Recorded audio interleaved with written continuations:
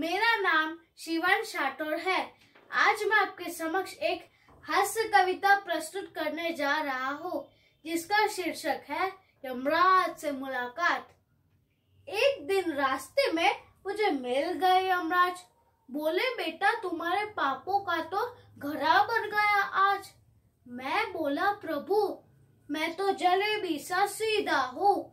क्यों मेरी शराफत पर उंगली उठा रहे हो? ज़रूर आपके कंप्यूटर में कोई वायरस है। जो मुझ पर ऐसा आरोप लगा रहे हो, ध्यान से सुनिए, मेरी भी क्या मजबूरी है? आजकल जीने के लिए गलत काम करना भी ज़रूरी है। यमराज बोले, अरे बेटा, इस तरह जी ना दुखाओ। इंसान तो तुम पहले ही हो, अभी गधों की तरह मत हिनहिनाओ। ये तो तुम इंसानों का सिस्टम है, अब ये भी जान लो। पर तुम्हारी बात सच्ची है। अपने अपने स्पानों को छोड़कर कोई तीन वरदान मांग लो। पहले मैंने दो वर मांगे। इस देश से गरीबी और बेरोजगारी हटा दो। यमराज बोले, अरे बेटा, ये तो असंभव है।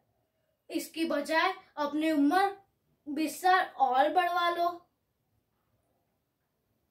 मैंने आखिरी पर मांगा। मैंने आखिरी पर मांगा, इस देश से भ्रष्टाचार ही मिटा दो। हिमराज बोले, अरे नादान, तू ये भी नहीं जानता कि विधि का विजान कौन मिटा सकता है?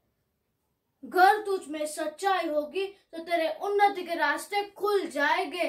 तेरे सुख पेट्रोल की दामों की तरह बढ़ते और तेरे दुख पानी की स्रोतों की तरह घटते जाएँगे। धन्यवाद।